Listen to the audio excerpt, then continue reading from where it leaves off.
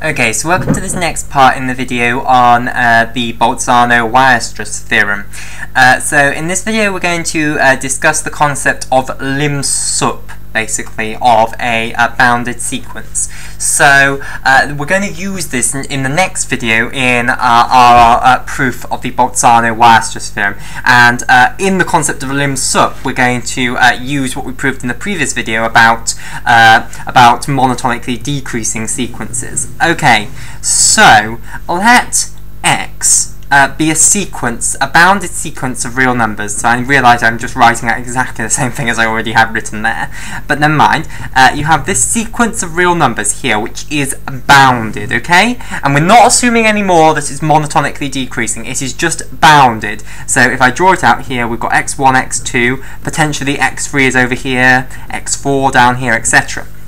Okay, so uh, the meaning of bounded means that there is some lower bound, some little m, and there is some upper bound, some big M. So little m is less than or equal to all terms of the sequence x little m, and big M is greater than or equal to all terms of the sequence. So that's that's true for all n is an element of the natural numbers. So for all terms of this sequence, this one is less than or equal to all of them, this one is greater than or equal to all of them. So uh, this sequence is a bounded sequence.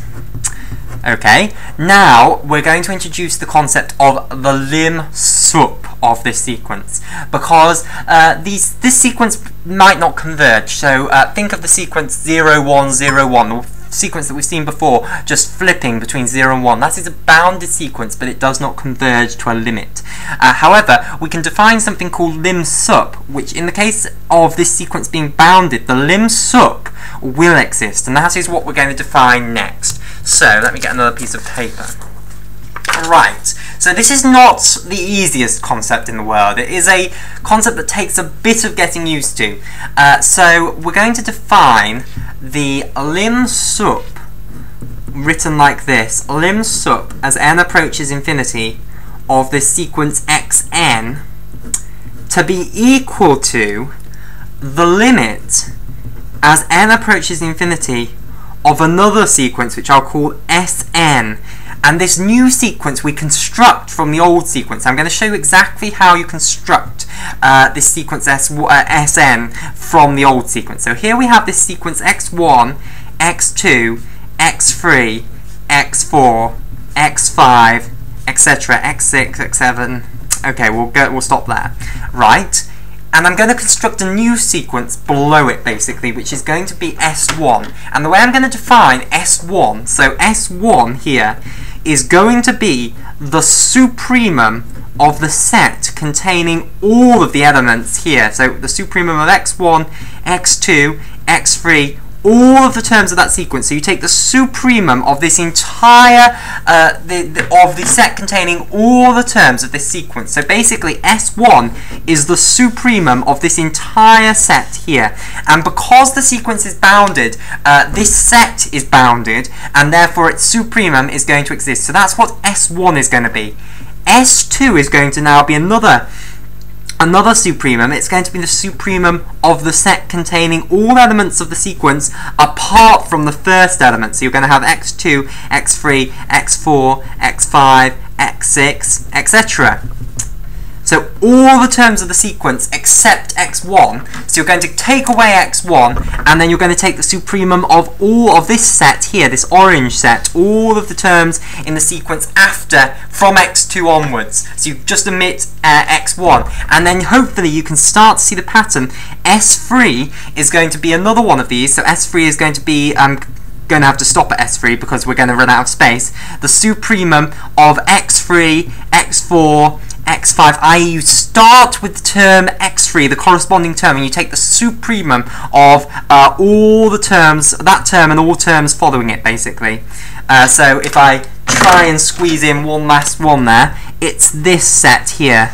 So I'll just colour it in, it's that set there. Okay, and you go on. You can define S4 to be the supremum of the set, X4, X5, X6, so all the terms of the sequence from X4 onwards, etc. So the way I define Sn is that I define it to be the supremum of all terms xn onwards. So xn plus 1, xn plus 2, etc. onwards like that. So all terms of the sequence from the term xn onwards, basically. You take the supremum of that, and that is how you define the sequence Sn. Now, I firstly want to convince you that all of these all of these numbers are defined. You can work out all of these numbers, these supremums. Uh, so all the terms of this sequence S are defined. The reason being that S1 is defined uh, because the sequence is bounded, and therefore the set uh, is bounded. Uh, so it will have a supremum.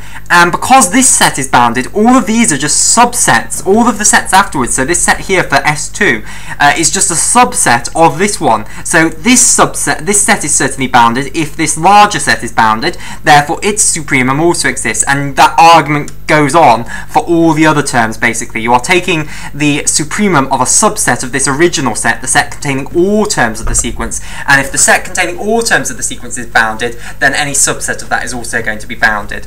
Okay, uh, simply because if these two numbers are greater than or equal to every element of this of this sequence, so all the elements of the sequence are between this little m and this big M, then if we take a subset of them, it's still going to always be between that little m and that big M, basically.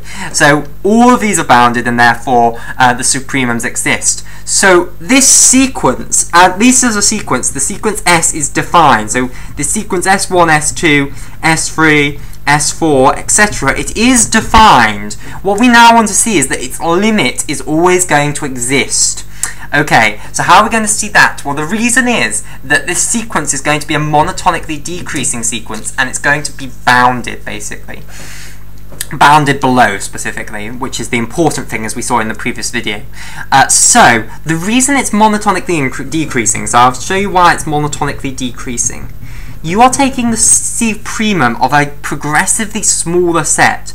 So the supremum cannot possibly go up because all the terms, for instance, in this set here are within that set. So if the supremum, remember, is a number greater than or equal to all elements of this set, and it's the least such element, but uh, the important thing is it's an upper bound. So if it's an upper bound for all of these terms in this set, then it's still going to be an upper bound for all of these terms. It can only go down, for instance, say x1 was the biggest term, so let's imagine uh, that we had x1 here, and then all of the other terms were, let's say, down here, so they were all in this interval here, so all of the terms after x1 were in there. Then initially the supremum would be this value, x1, i.e. that would be the least upper bound, so s1 would be x1. But as soon as you go on to s2, x1's gone, and all the other terms are down here, so the supremum would suddenly drop to, let's say, there.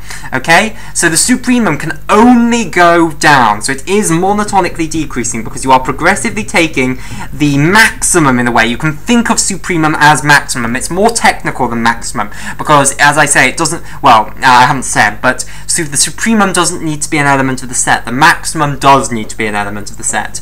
Um, but it's this least upper bound of uh, of this bounded set basically. And if you take the supremum of a smaller set then the only possibility is that it can go down or it can stay the same. It cannot go up. How can it go up if it's uh, that it just wouldn't make any sense because uh, if it's le if the supremum has to be greater than or equal to every element in here all of the elements in here, in this this new set, are within there. So this supremum is certainly going to be uh, greater than or equal to all of the terms in here, so it's going to be greater than or equal to uh, this supremum here. So basically, monotonically increasing means that Sn plus 1, the next term in the sequence, is either less than or equal to Sn, basically. So that's monotonically decreasing. Now what we want, I will need to convince you of, is that it is bounded. Okay, so bounded below specifically.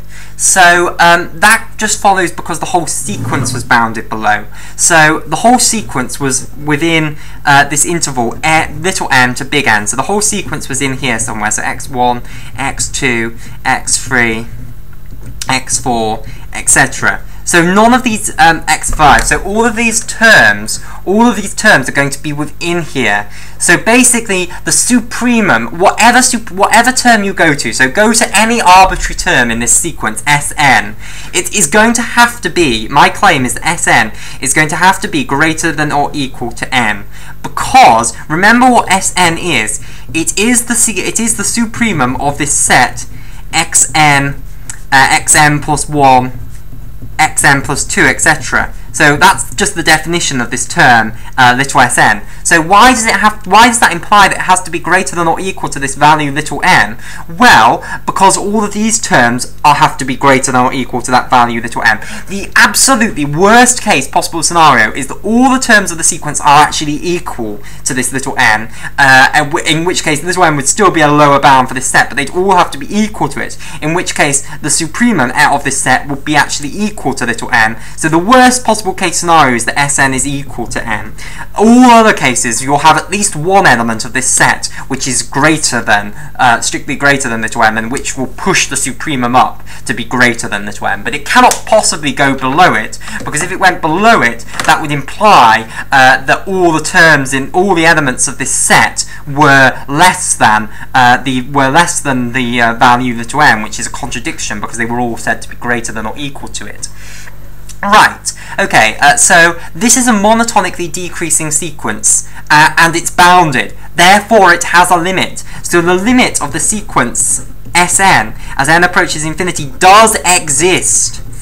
Exist. And this is basically defined for the sequence Xn. So this is how we define lim sup, uh, lim sup of the sequence xn as n approaches infinity. So it is the limit of the supremums, basically, uh, which is why it's denoted lim sup. So um, it, you take um, where's the original um, here's the original sequence up here. So you gradually um, you grad as you go along this sequence S1 you're gradually uh, making the set over which you're taking the supremum smaller you're moving along the uh, the um, starting point for the set uh, over which you're taking the supremum and that limit must exist, basically.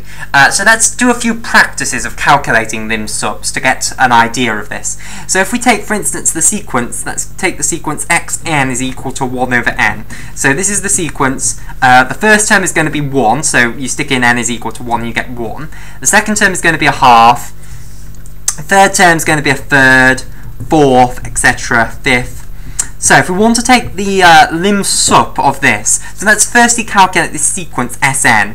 So uh, the sequence Sn uh, is going to be, is just by definition, it's the supremum of all the terms uh, from xn onwards. So xn, xn plus 1, xn plus 2, etc. Now let's fill in with uh, fill in these terms with what they are in terms of this here. So xn is just going to be equal to 1 over n. So we can fill this in with 1 over n 1 over n plus 1, 1 over n plus 2, etc. and you go on. But if we draw this on a picture, here is 0, here is 1 over n, and we know that as the uh, denominator gets bigger, the um, fraction overall gets smaller. So the biggest term, because this is a monotonically decreasing sequence basically, what we can say is that the biggest term in this set is going to be 1 over n, and therefore the supremum is actually in this case going to be a maximum, which is equal to uh, 1 over n. So the maximum of this set is going to be 1 over n, and in this case the supremum is actually equal to the maximum.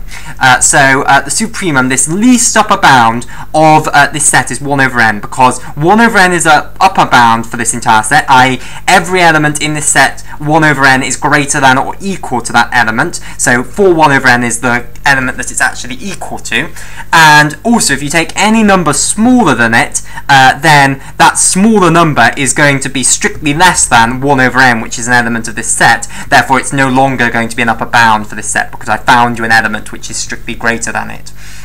Okay, so that's the supremum, 1 over n. Uh, so we get that the sequence Sn is in this case in fact equal to 1 over n. So the lim sup is in this case going to be exactly the same as the limit of this sequence, the limit as n approaches infinity of 1 over n, and of course we know that that is equal to 0. So there's an example of uh, what exactly what we're doing to make this a little bit more concrete. Okay, uh, so in the next video what we will do is we will use uh, this concept of lim sup and the fact that this always exists. If xn is a bounded sequence, lim sup always exists and we'll use that uh, to prove that we can construct a, uh, a, um, a convergent subsequence of any bounded sequence.